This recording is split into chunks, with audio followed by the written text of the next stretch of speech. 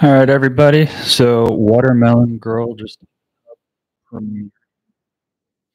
and we're going to go ahead and start doing a live Q&A session.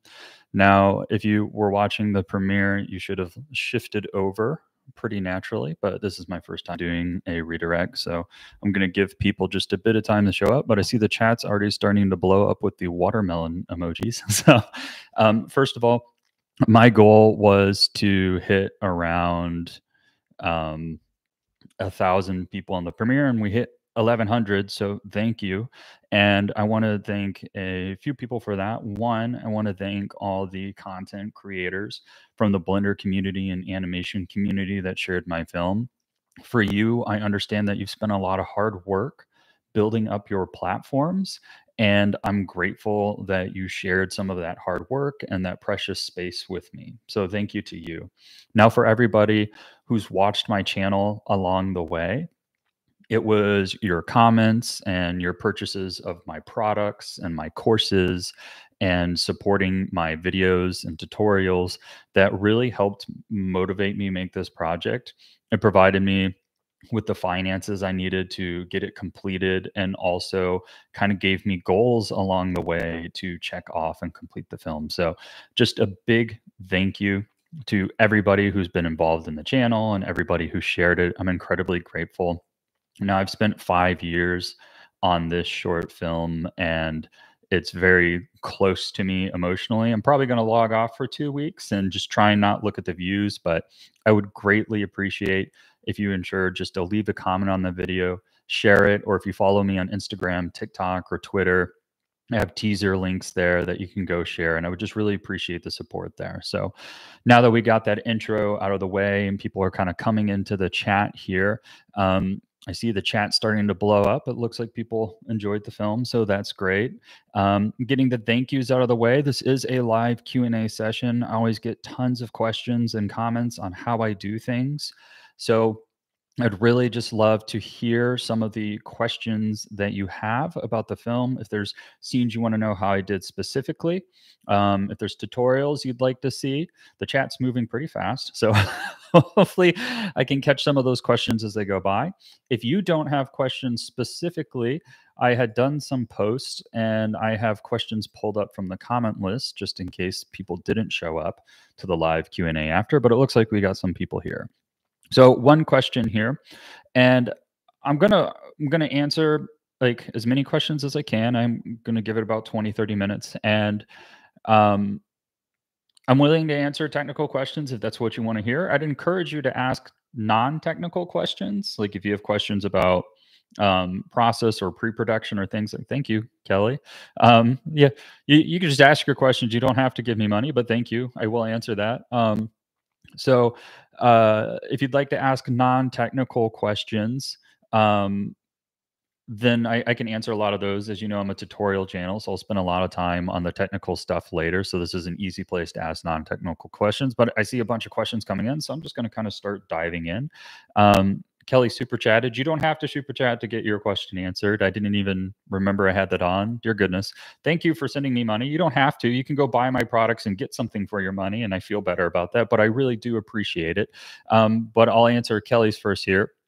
Um, how and how long did it take for it to render? So I've been working on this project. I had the idea 18 years ago in high school. And then I've been trying to make the project for about 10 to 12 years and failed multiple times. And I recently completed this finally. And this version that I started was about five years ago. Now, in terms of rendering, I had about 230 shots and I separated them into about 200 partial renders. And I did render this all on one machine I have a video on how to build PC specs and I go in all the details there. But in short, I have an NVIDIA GeForce 490 RTX. Disclaimer, they are a partner of the channel. They provided the card to me, but it's been incredible. I didn't have to use a render farm. I didn't have to use multiple computers to render. I rendered it all on one computer using that. And then I um, used some laptops and things to kind of work while I was rendering. Now, with that 4090 RTX, I'd say that on average, each scene, you know, it varied depending on the complexity. Some had volumetrics and things that made it take longer, but I'd say it took about you know, you're looking like between one to two hours per um, shot or sequence. So, you know, if you total that up to about 230 shots, I'd say it's safe to say it probably took me around between three to 500 hours of render time. But I was also re rendering things constantly. So, I mean, I, I, definitely rendered for thousands of hours overall. Um, great. Okay. So, let's look at some of these other questions we have here. How did I make the hair physics? I'm seeing that one pop up a lot. Um, and people are also asking about the audio. So, Devin Pulaski is a music composer. He did the music. He's been in the chat. Not sure if he's here in the live stream chat. He was in the Premiere chat. And then Sanctus Audio, which is a professional audio studio, did the sound design, and they're incredible. They uh, work with a lot of the large clients. I was excited to fit in on their schedule. And uh, I did all the visuals and other people did all the audio. I'm, I'm not good at audio. So, but yeah, a lot of people are asking about the hair. So let's dive into the hair. So the hair was actually made from two other tutorials. CG Matter or Default Cube has a tutorial on how to create ropes by drawing curves with geometry nodes. So I first used that. Then I converted it to a mesh. And then Blender Secrets he had a tutorial on like rope physics and it was really simple and easy to follow. So essentially, it's a rope mesh made with geometry nodes that is then attached to a simple subdivided plane. And then I run the cloth simulation on the subdivided plane. That way, it's like a really low poly simulation, but then I can attach it with a modifier to that rope mesh. So then it ends up looking kind of like, you know, this high poly rope is being animated, but it's really just a simple mesh. Um, somebody's asking Eevee or cycles. This was definitely all cycles. Uh, I wanted to do a lot of things that weren't possible in Eevee. Let's see, what else we got here? Is there going to be a sequel and how did I stay motivated? I'm seeing a lot about staying motivated and doing big projects. So um, let, us talk about is there going to be a sequel? Um, for the sequel, I have an idea on how to expand it into a series. I'm also talking to people about children's books, and I would love to talk to game devs about making a game. So, this is largely going to depend on the success of the film if you'd like to see more Watermelon Girl, then share it, rewatch it, comment on it, like it. It helps because when I talk to producers, if I can say, hey, people like this thing, it makes it easier for me to kind of justify getting support to finish it. In terms of staying motivated on long projects and big projects, I have a video coming out specifically about that, but just a few quick tips. One, plan ahead now, as creatives and artists, we don't want to go through the planning process. It's boring and it's not creative. It's just a bunch of technical documents and calendars and stuff you don't want to do. But if you're like me and you struggle with that and you don't want to do that, what I recommend is setting aside one hour every Monday or whenever you start your week and just spending that one hour to plan what you're going to do that week. That's what I did because I couldn't sit down and plan everything. I just would go nuts. So I'd plan just one hour a week, what I was going to do that week, and get it done. And by always having a plan and a goal to complete within a week, I was able to get through the larger project. I tried to skip that phase and I failed three or four times. Like I said, I have a video diving into that. I just saw a couple people send super questions again. So I want to make sure I don't miss those because um, I'm very appreciative. Um, how did you get the 2D textures to work with the face? So I have two tutorials on this. Um, one where I teach you how to use a driver setup on just an image sequence, and another one on how I teach you to attach it to a rig. So um, you can go watch those videos on my channel if you'd like to see. Also, Blender Secrets just covered the process. Now, I used Blender and that uh, technique I show in those videos for the start of the film, but as it went on, it was becoming uh, a bit cumbersome for me because I wasn't used to working that. Most people don't know this, but I actually have more experience in After Effects professionally than I do Blender. So I ended up switching all my 2D facial animations to After Effects just because it was faster for me. That was the only reason. You could achieve the same exact results in Blender, but essentially they're image sequences and most people don't know this, but you can make two UVs for one character. So there's a UV for her body texture and there's a UV for the face. Again, I break down how to do that in my tutorials. You can go look those up. I saw Smeef just hopped in the chat and asked, How fleshed out were your storyboards? Okay, so this is a great question because I started storyboards and then I was like, Wow, this is taking too long. So I quit. And I knew that that would leave me to fail. So instead of doing storyboards, what I did is a shot list. And again, I have a video where I show like what the shot list looks like. But since I was animating everything myself, I didn't need the storyboards to communicate to other people what I was trying to achieve visually. I just needed a note reminder. So by skipping the storyboard and doing a shot list, since I was doing it all myself, I was still staying organized, but I was kind of preventing a step that was going to take a ton of time. And since I was an individual animator, it ended up actually being very freeing for me because I was so focused on uh, completing the shots and things that if I had a storyboard I put all this work into, I would have like stuck to it no matter what. But I ended up kind of re editing the film, deleting and adding things as I went. And I was able to do that for me mentally because of the shot list. It was easy just to move text around on a shot list. If I'd done all these pretty drawings and animated it and edited it into an animatic, I would have been like, no, this is the way I'm doing it. Now, granted, maybe the project would have felt a bit more polished and not needed that re edit if I had figured it out on that phase, but that was the process I took. Did I use Filmic Color or did I use AGX? So AGX came out in, I believe, Blender 4.0. This was primarily animated in Blender 3.4 through 3.6. So I used Blender Filmic. And then I edited my film in Premiere. And in Premiere, I used Lumetri to color grade.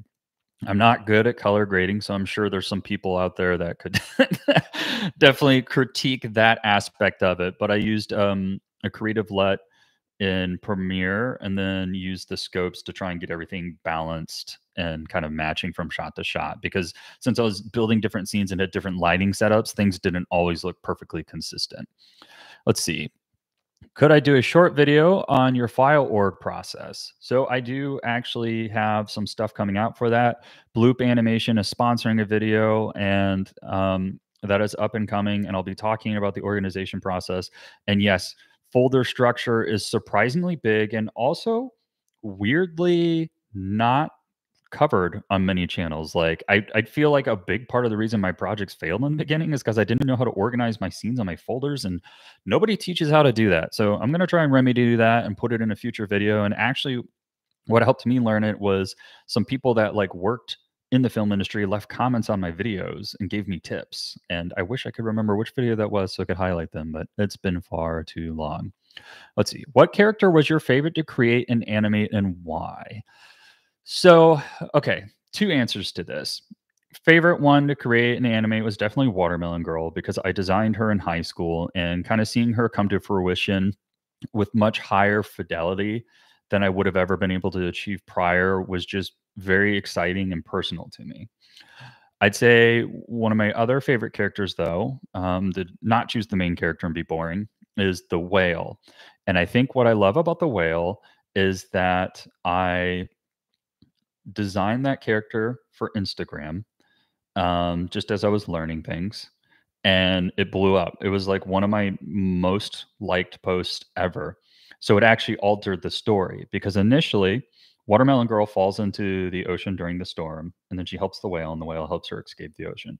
Initially, what happened was a sea monster, which was a tentacle holding one eye, pulled her underwater, and then she ended up helping the sea monster and then he would carry her back to the top but because the whale was so popular on instagram and altered the story and i think that just kind of makes that character a little bit more interesting for me let's see what else is on here? What inspired me to create this? There were a lot of things that inspired me to create it. Um let's see.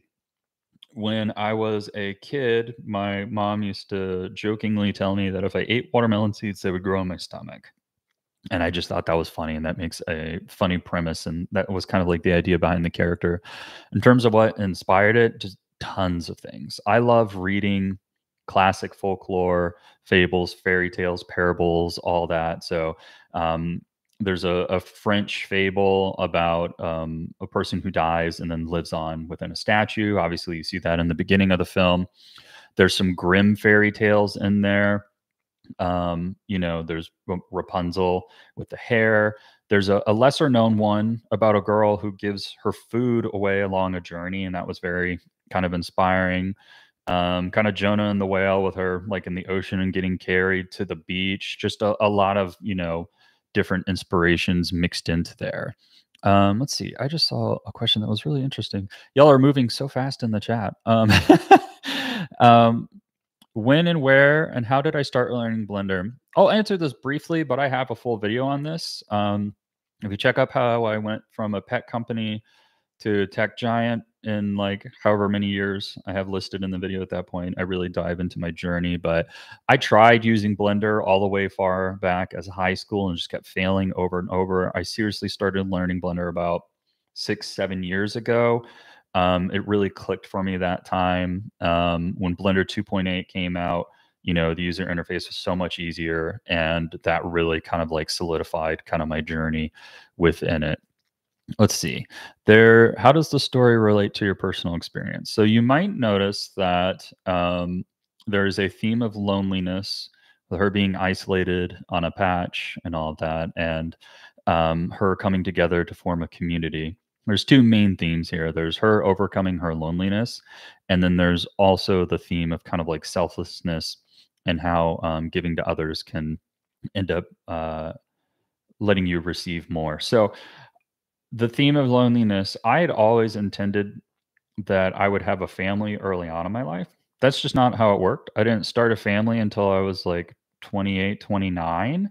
Um, so there was a long period there where I was kind of living by myself after college and um, yeah, just kind of struggling with loneliness and wanted to work that into the story.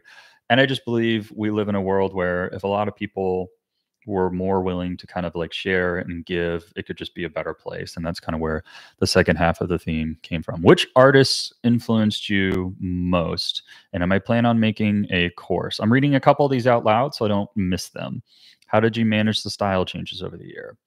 All right. So, which artist influenced you the most? I think it's very evident from watching the film that I am greatly influenced by stop motion films Aardman films, Tim Burton, Laika films. It's very clear those are an inspiration to get those out of the way, obviously. Talking about the less obvious ones, I am a huge gamer and um, Nintendo is a big inspiration.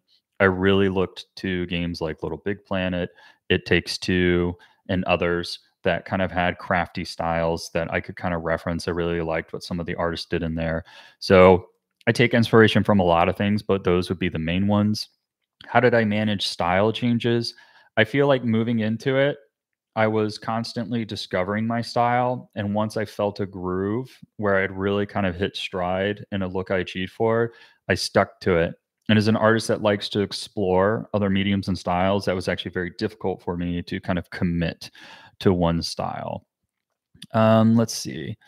Uh, did becoming a father change the story or certain emotions of the video at all? So I had a baby mid production, um, and uh, it didn't alter the story because the story at that point was solidified. But during parental leave was probably when I worked the most because I was off work and I just set up a card table next to the crib. And while she was napping, I would just hammer away at Watermelon Girl shots. So although it didn't alter the story, it did alter Watermelon Girl's animation because I had saved a lot of her animation for that last kind of like push. And having a little baby and, and watching how she sees the world anew definitely influenced how Watermelon Girl saw the world because, you know, she kind of, she's born and like very innocent in the beginning and kind of just experiencing everything for the first time. Am I planning on making a course? I am working on new courses. It's been a long time since I did one because I've been so deep in production right now I'm trying to figure out what that course is. Bloop Animation already has a how to make a short film course. So I feel like it's kind of redundant for me to make something like that. But I am planning on taking some of what I've learned from Watermelon Girl and putting that into a course format. Would greatly appreciate any input on what you would like to see in courses. It's definitely helpful. How many Blender crashes did you face while making the movie? Not many. Um, it didn't crash that often.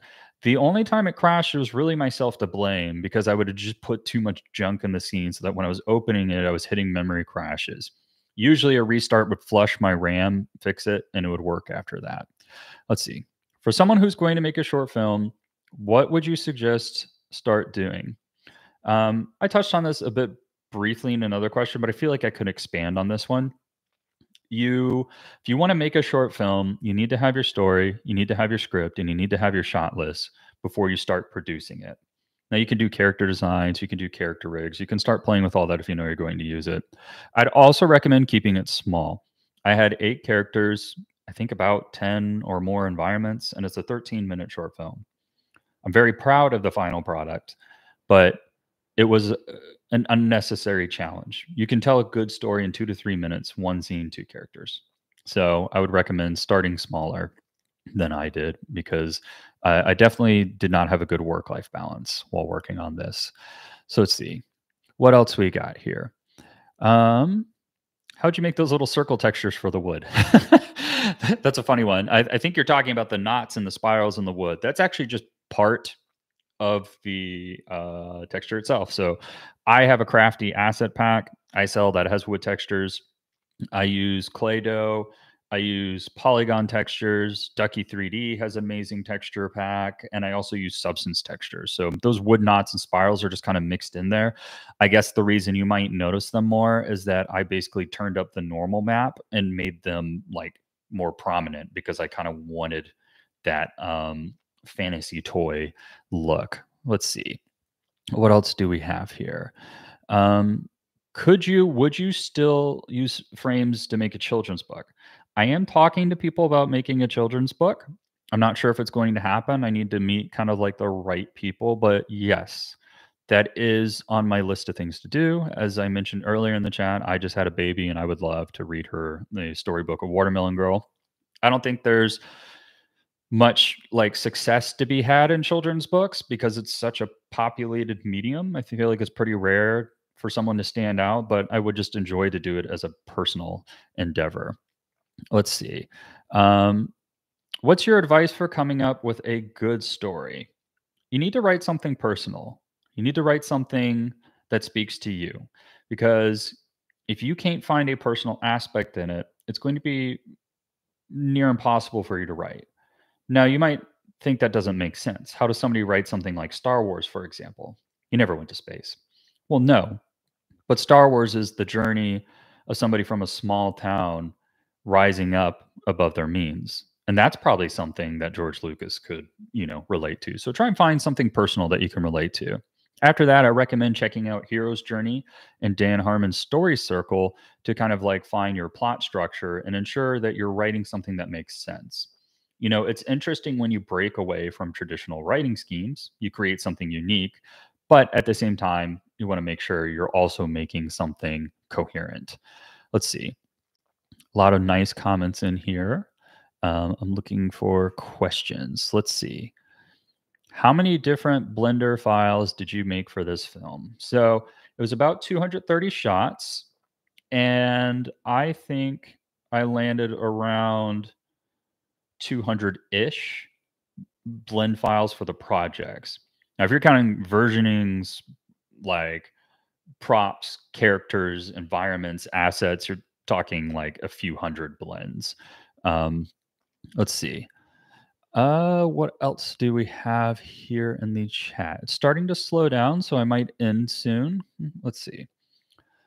How did you organize your scripts and scenes? Was it stressful and difficult to organize ideas? So I try not to allow sponsors on the channel that I think are irrelevant to the audience. I don't think that does anything. You really don't want to see an ad. And I don't want to try and sell you something that I don't really think you're going to like that just doesn't feel nice. So whenever I pick a sponsor, I try and pick something I think would be useful to the audience, even if it's not specifically related to Blender. One such sponsor was Milanote, which is a tool I had not heard about prior to them reaching out to sponsor. And it radically altered my production pipeline on Watermelon Girl. I talk about that a lot in an upcoming BTS video, which they will again sponsor later here in April that I'm finishing up editing now. But using a tool like Milanote, it has like a lot of kind of like sticky note type features, graphs, cards, and other things. And I found that personally much easier to organize my ideas and thoughts than just sitting in Google Docs and trying to organize it from top down in a Word style document. So for me, it was being able to kind of splatter all my ideas uh, as sticky notes on a board and then slowly kind of bring them together into something cohesive. That's how my brain works. Um, I'm a very ADD type kind of thinker, not like extreme that I need medication, but I definitely have to do some practices to keep myself focused. So that that was definitely helpful for me to work that way. Um, so Derek Elliott a great YouTube channel, is asking technical question. You had 200 blend files for these shots. Do you not do V1, V2, V2B, shot three final, shot three final B? Yeah, there's a lot of that. There was definitely like, there's some where I had like 10 versions of one shot, which just exploded and would, if you count all those versions, I probably have over a thousand blends sitting in the production folder. But um, yeah, I did do a file naming structure of zero to letter. So that would basically be like shot two, uh, A. And then later, if I was like, crap, I need to add a shot between two and three, then I would do shot two B. And that's kind of how I kept those things organized. Let's see. Um, me and some friends are making a film. What tips do you have for a bunch of teens trying to make something? Uh, organize and set goals. If you have a group of people, set roles and try and be careful of not too many cooks in the kitchen mentality. If you have too many people providing input, it can sometimes prevent progress. So try and get your ideas together. And once you have them solidified, try and keep them that way. Um, ever changing the project is a quick way to kill it. Once you once you've committed to an idea, try and stick to it. Let's see. Um, let's see. There are a lot of questions, and they're still moving fast. Derek wants to know if I delete my files eventually. I use Google Drive, so I archive them online. So they get deleted from my hard drive, but they get archived online. And then I also keep an external hard drive where I occasionally just back everything up because I'm always scared of my files being deleted. Um, as a budding animator, my parents asked me this question How will you manage your finances? And I don't know. I think the root of that question is how will you make money as an animator? So that's kind of what I'm going to answer. Okay. So when people think animation, they think Disney. They think being an animator at Disney. And if you can't get an a- animation job at Disney, how do you make money? Okay. Well, I'm here to tell you that yes, Disney is insanely competitive, and you're not likely to get in unless you are extremely motivated. So, and there's nothing wrong with that. You know, if you, if you feel that strongly, you can work there if you're willing to put in the work for sure. But there are other avenues of success. I've been doing professional animation work for 10 plus years now, and almost all my work has come from agencies, direct to client relationships, doing advertising, but majority of my work actually comes from tech animation and the majority of animators I know work in either tech, agencies, or small studios. I know a few animators that work at studios for Netflix and things. One of them was just here in the chat a second ago. Lollipop Man on YouTube does um, some animation like that. However, there are other avenues of success, and it, you can quite easily build a career in animation if you're motivated. Let's see. Would you recommend starting a YouTube channel to get better at Blender? And let's see, what else do we have here? Um, what was the most important thing you learned while creating your short? Okay. So I'm coming up on 30 minutes here. So I'm probably going to end it in the next five minutes or so. I don't want this to go on too long, but there's still questions being asked. So, would I recommend starting a YouTube channel to get better at Blender? You can. Um, that's how I did it. Uh, I wanted to get hired to do more character animation work. So I started an Instagram, and then people wanted to know how I was doing those characters. So then I started like YouTube and teaching people how, and that kind of turned into a business. And then I actually was doing less client work and more just my own artwork on YouTube. And for me, that was very appealing. YouTube and social media is very competitive it looks fun and there is a small percentage of it that fun, but it's majority work. Do you need to start a YouTube channel to learn Blender? No. Can that be one way to motivate you to learn Blender? Certainly, yes. But also keep in mind that if you're managing social media, you're adding one more thing that you have to do on top of your to do list. Let's see. There was another question I just saw and I just read it out. Um, what was the most important thing you learned while creating the short? So I've been talking about organization a lot, and that was definitely part of it. But since I've already given that answer, I'm going to talk about something else work life balance and managing burnout. I burn out many times on this project. And there was once I remember I don't think I worked on Watermelon Girl for like between one to three months. It like really burnt me out. And I was scared I wasn't going to finish it. It may be tempting to sit down and work from 6 a.m. to 2 a.m. to try and get something done. But all that's going to do is um, burn you out and then take you down from the project. And you might not get back on the project if you feel defeated enough.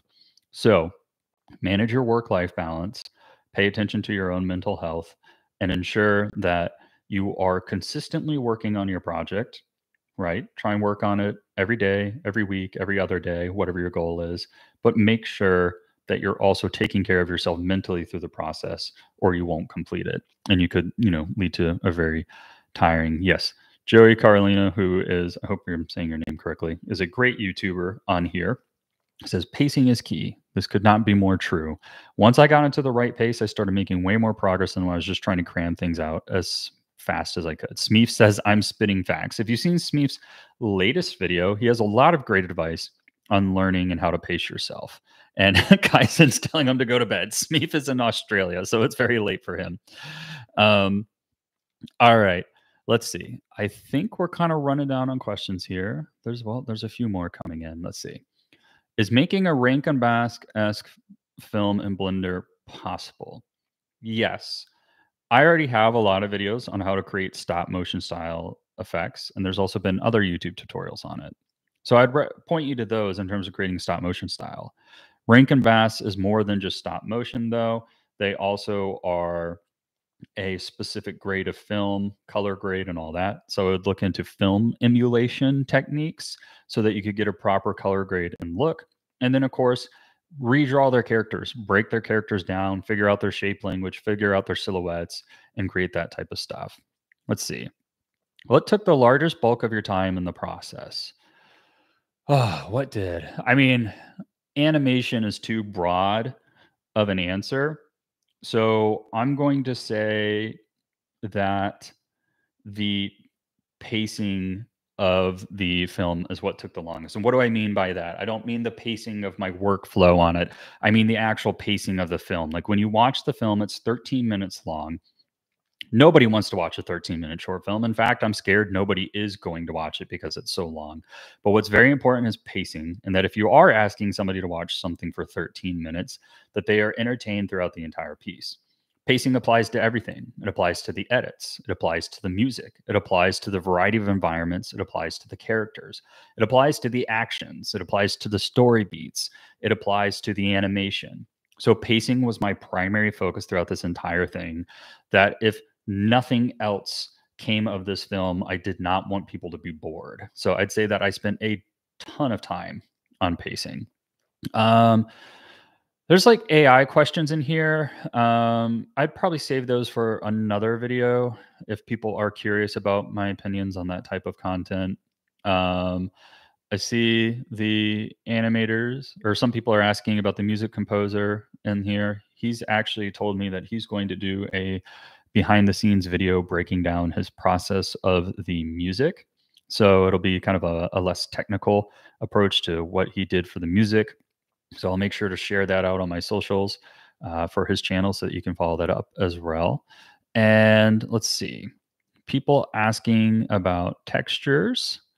Um, what was most difficult to create? Um, would I be honored if Blender was used in, or if Watermelon Girl was used in a Blender splash screen? I mean, that'd be pretty awesome. I have thought about submitting it.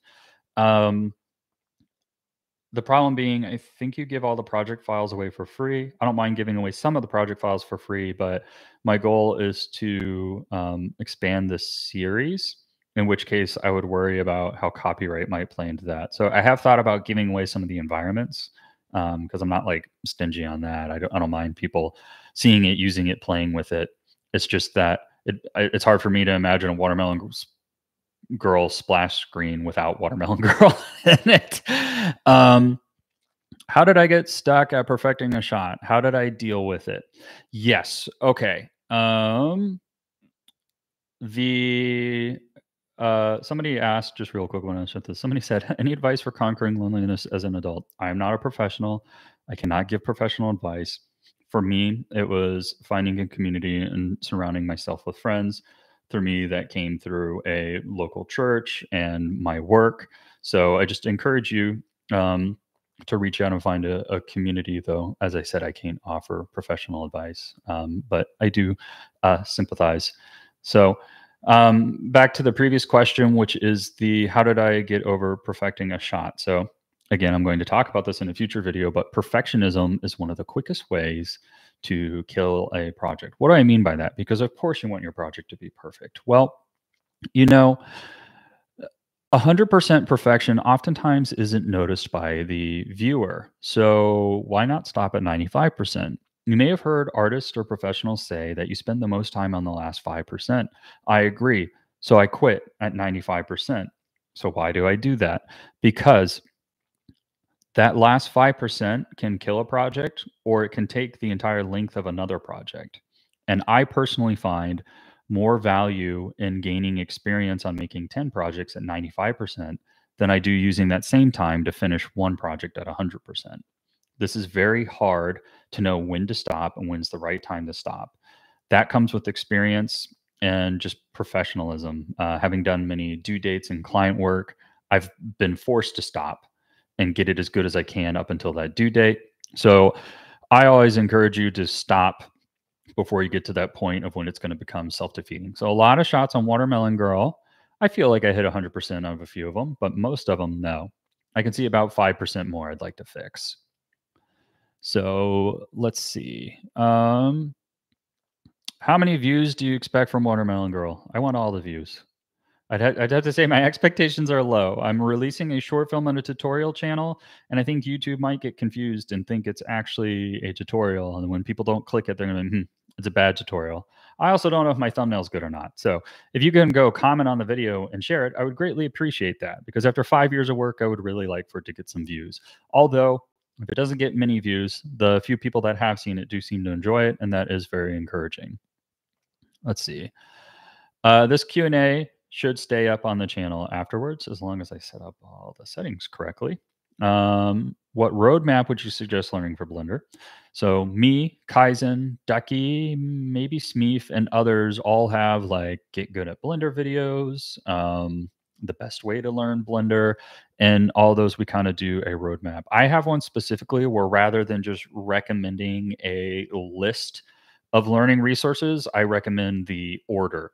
So I can't remember the name of the video, but if you look up learning Blender on my channel, you'll find it. I, I think I did it like uh, late last year, but I, I basically went through like an actual like path of like start with this one and then just keep going here. And there's a lot of recommendations in there.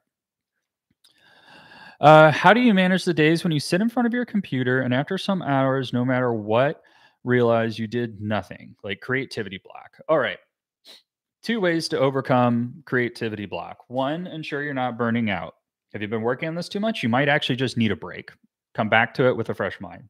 Two, consume lots and lots of art and not just Blender art. I want you watching movies, reading comics, reading books, looking at paintings, looking at photography, looking at other animators, looking at motion design, looking at traditional animation, watching movies, playing video games, like whatever. Just start consuming art and be intentful about it. You know, like maybe instead of playing this game because you have to grind out a battle pass, maybe you play this game because you want to check out the art style. Take notes, and you know keep like an artboard around and that really helped me always get over creativity block because anytime i got blocked with my own personal thought process i could kind of look to what art other artists were doing for inspiration that definitely be to recommend getting around that Um, have I thought about doing a crowdfunding campaign for more episodes? I have a hard time asking people to just fund my personal projects. Um, if you give me money, I want to give you something. And sure, there's an episode in there, but still, it's like it's it's my personal project, and I feel bad asking other people to invest in something like that feels like it's more for me. If you want to support the channel and like finding more content like this, then I recommend like my products and courses. That way, I feel like I'm giving you something for your money sure maybe you really want to see another episode and you consider that and i appreciate that but i just personally have a hard time getting over that hump. That's not to say i'll never do it but right now i'm going around to producers and studios and maybe it'll land that crowdfunding is the only way i can get support but um, that's not my first resource or thought that i am achieving to go. All right i'm going to answer one more question. Let's see what do we got in here? Um there's a lot flowing in, and I also had a list from another thing. I'm going to answer this one about environments. How to make all your environments and stuff uh, after the story's been prepared, how to prepare a mood board, and other things. I actually relied on Pinterest for a lot of my mood boards, which is like surprising. I've never would have thought Pinterest would be the place I was going for inspiration on Blender 3D, but I don't know like what they did, but Blend or Pinterest's algorithm is like perfect. Like I find one piece of artwork I want, and then all of a sudden, like the bottom is just flooded with other artwork like that. So I created a lot of Pinterest boards for this piece. I used Milanote to drag over some of the things there. And then I used my iPad and uh, a drawing app called Procreate to kind of do a lot of my sketches and designs and create mood boards and reference things like that. And then in terms of how I completed the environments, I would oftentimes start with uh, the idea from the script. Then I would move down to like an art board and a mood board. After that, I would start sketching things, playing with that. Then I would get in Blender and I would just fail on average four to five times. I would try and make the environment and just wouldn't work. And then usually around that last time, I would kind of like get it. In terms of the technical process, I didn't use a ton of model asset packs on this because the story was so stylized um, or the style was like so toy like it was hard to find assets that matched the aesthetic i was going for. So a lot of the background objects and stuff are very simple shapes spheres cylinders things like that and i focused on color composition and textures. I've already mentioned a lot of the texture resources i used. I did use some sculpting resources from um, the uh, Blender market. Uh, I've I've linked those in my videos before, I believe. And then uh, lighting asset packs and some other things. There's a Gobo Light asset pack, which I've mentioned a few times, and I'm linking in my future videos that I use for a lot of lighting scenes. And with the environments, I spent a lot of time on the colors and ensuring that everything was easy to read. And then there was always a background, a middle ground, and a foreground. And then uh, I would spend a lot of time on the lighting color schemes as well. So I would use a color palette for the um, lights, just like I would on a character or a drawing, and then I would try and you know find color theory within the lights. And I tried to just not do blue and orange lights on everything. So with that, that's going to be the last question I answer. If you haven't already watched the short film, I encourage you to go over there and watch it if you follow me on socials Instagram, TikTok, Twitter, you'll see that I already have a teaser up. I would really appreciate if you'd share those to your story or repost it, help get word out. YouTube, live chat is great, but YouTube really loves comments and likes. So if you can just comment or like on the original Watermelon Girl video, that would be insanely helpful. I'm very grateful uh, for all of you attending. I'm grateful for all your questions and I'm grateful for all your support on the channel. I hope you found the short film enjoyable. I hope you thought it was worth the wait, and I hope you found this live Q&A helpful. Again, thank you, and it was nice talking to all you.